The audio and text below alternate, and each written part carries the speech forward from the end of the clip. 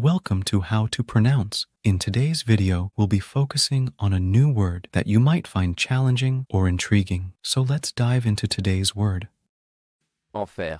which means hell or a place of intense suffering and torment. let's say it all together. Enfer. Enfer. Enfer.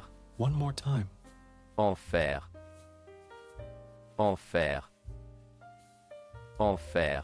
Thank you for joining us on this adventure in pronunciation. Remember, language is a journey, not a destination. Keep exploring, experimenting, and expanding your linguistic horizons.